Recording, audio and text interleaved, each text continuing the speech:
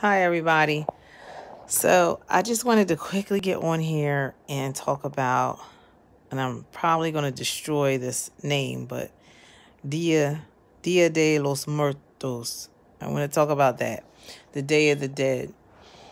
Um, well, I was uh, driving down the road yesterday. Yesterday was October the 31st, ha- ha- Halloween. And I was driving down the road and I saw people, because where I live, there's a lot of farmland and um, a lot of roadside stands. And a lot of these roadside side stands are, you know, at this point not selling much because it's October, November, it's getting cold. And so they'll they'll sell pumpkins and things like that, whatever like cold season crops, and then you won't see them again until the spring.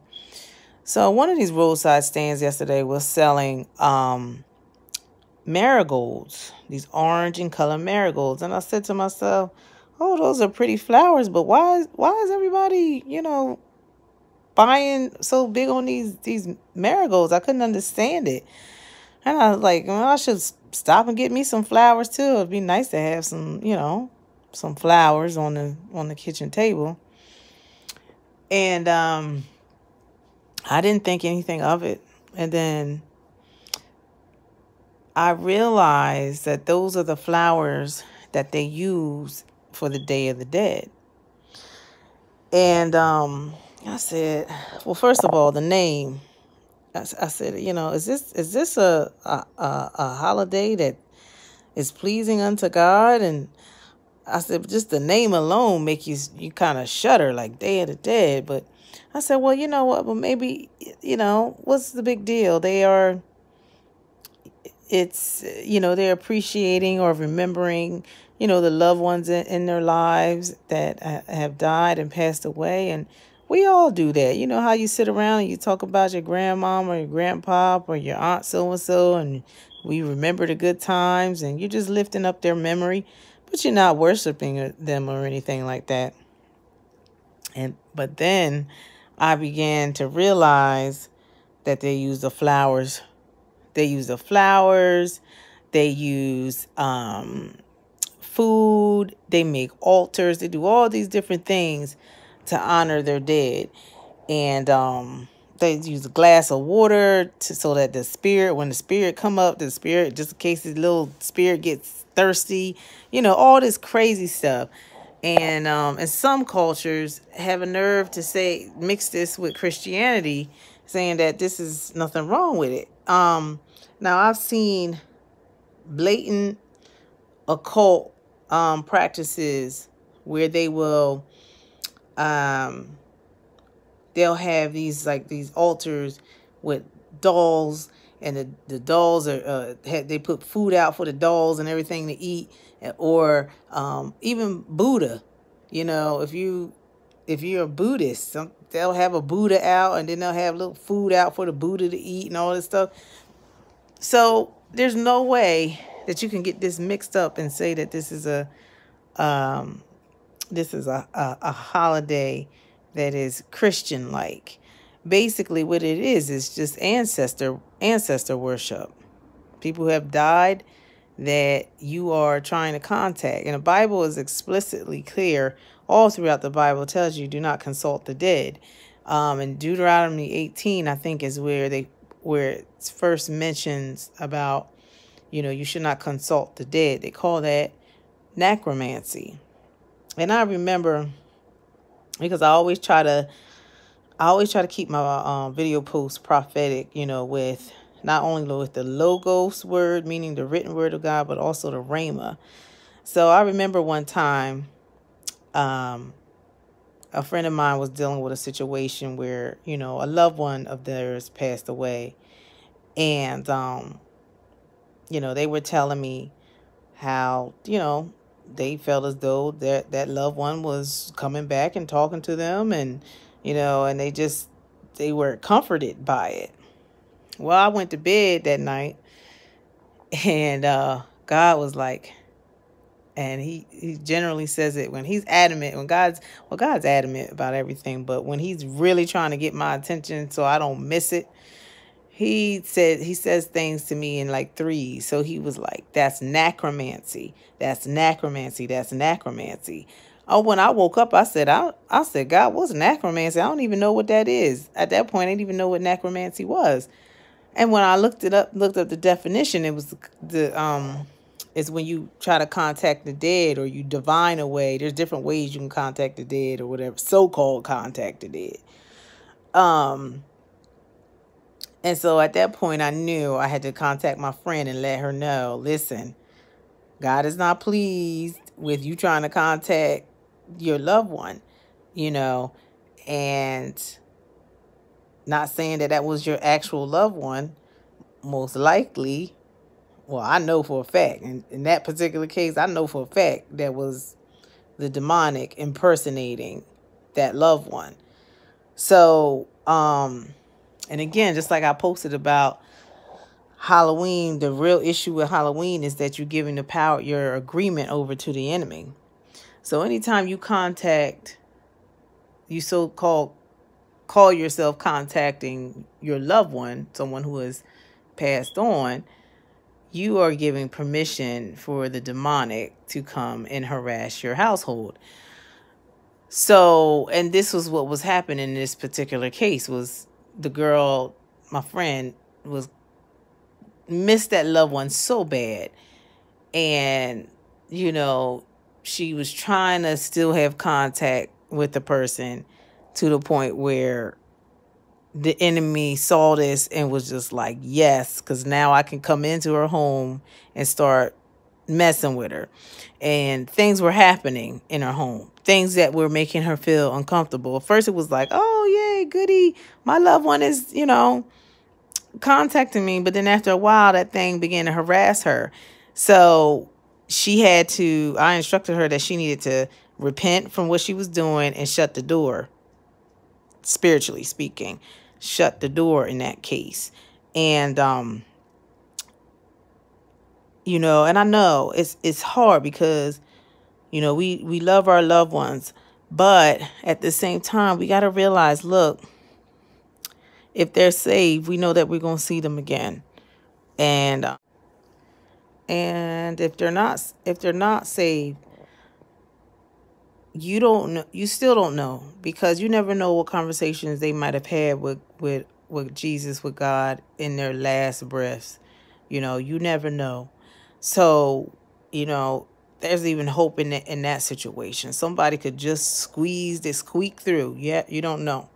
So but um either way you're not supposed to contact the dead and again this is for your own good it's not because God is being a, a meanie and, you know, he's being a meanie. It's, it's because he's trying to protect you from being harassed. You're already going through a hard time as it is because you lost that loved one. You don't need the extra um, issue uh, with the demonic coming in and attacking what's left, attacking the, the, the living, attacking you, attacking your kids, and setting all types of evil uh, workings into into motion just because you wanted to contact somebody from the other side. You have to renounce all those things. So what what happens? Okay, let's just say, well, it's too late. I done already did all that stuff. It's as simple as renouncing and repenting. As simple as as that. Closing those doors. Um, just to bring it home, I remember when I was younger, I played with um, the Ouija board. And I, I was really young, you know what I mean? Somebody put me up to it, but we was we played it and we just knew it wasn't right. You know what I mean? We just knew it wasn't right. We act like we was contacting our grandmom or whatever. And um the little board thing was moving and stuff like that. And we were asking questions and stuff like that. And just knew it wasn't wasn't right. We played it one time and we just even back then we knew mm, there's something ain't right with that. But all those years passed, and as an adult, when I became a um, uh, a believer, it was one of the things that came to mind that God brought to my mind that I needed to renounce. So I just basically said, God, you know, would you forgive me for you know, necromancy. I didn't have that word back then, but would you forgive me for that? And I, I repent and, and Lord, I will never do it again. Any way, shape, or form, I will never do it again. Now I say, God, you're God. If you want, if you want to, and people, they people say, and I know where they get this from, that um, the dead cannot come back into the earth realm.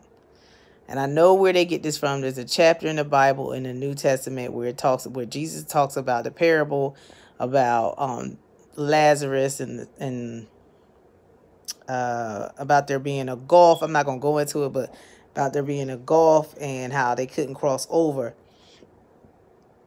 Now, like I said, I'm not gonna go into it. This that is a different story for a different day.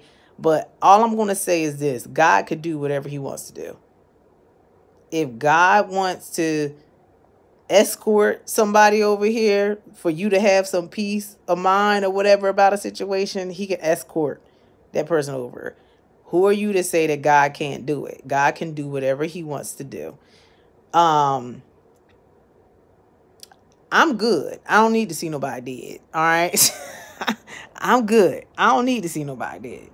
But there, I will say that there have been times where God have shown me people in my dreams where uh, that person died and God will show me that person in a dream just basically giving me comfort and um and I'm seeing that that person is in a better place. I put it that way. But I'm good about, you know, I don't need to see nobody dead. I don't need to see none of all that. I don't need to see none of that. So, um but again, like I said, God can do whatever he wants to do. But I'm not going to take it upon myself and try to make something happen. Um, at some point, I will, I will do a um a real good teaching on that whole thing with Lazarus in the Gulf and all this different things. So, um, is is Dia de Muertos, I can't say it, Dia de los Muertos or Day of the Dead? Is it a good how is it a good thing? Is it evil? Well, what do you think? Now it gets it, it gets some of its roots from back when the Aztecs was sitting there sacrificing all these people, killing them for the gods and all these different things. So it has roots in uh, pagan worship. And one of the like one of the worst kind is because you know it was literally killing people to appease gods.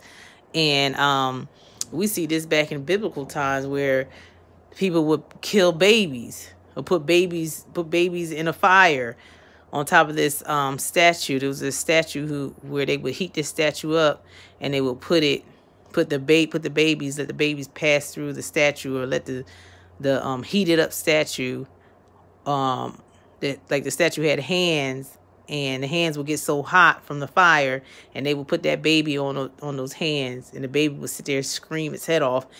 And um that's how they appeased their gods and so it's the same thing with the aztecs were doing they were basically taking people killing them to appease um their gods which we know is there is no gods there's just demons so they went to they went to do that. And so it's just um they may not sacrifice people, but it's just has evolved. This Day of the Dead has evolved into something more acceptable. And the reason why I talk about the fact that, you know, in my neighborhood, and I live in the Northeast, talk about my neighborhood, how, you know, they was I noticed that they were selling the marigolds yesterday and I and I wondered at them. But now it's like, okay, it's already bad enough we got Halloween here in America. Now this Dia de los Muertos is now becoming acceptable here as well. So it's just like how many of these uh, uh, abominations of I mean it's just that we are desensitized at this point.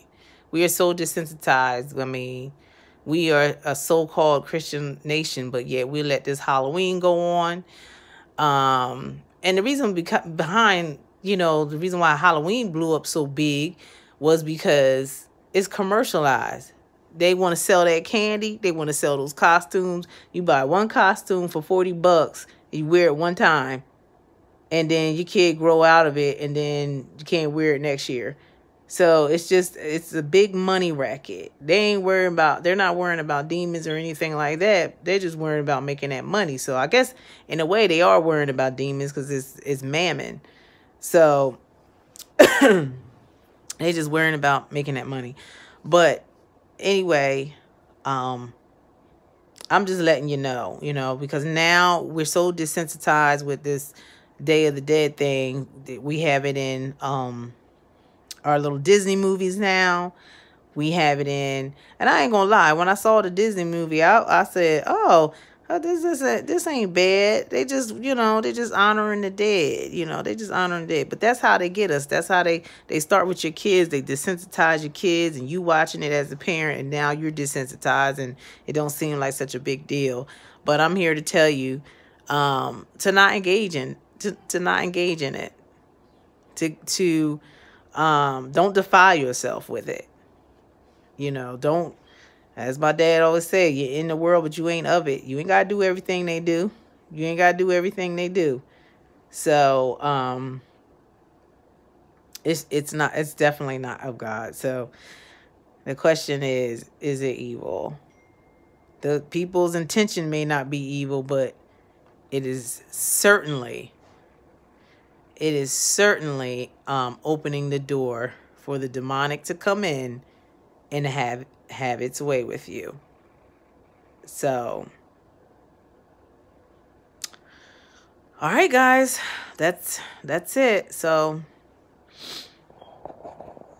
um, God bless you, and um, like I said, Day of the Dead is November the first and the second. It's two day celebration. So, uh, we really need to pray. We really need to pray as um as Christians and as believers. God bless you guys. Bye.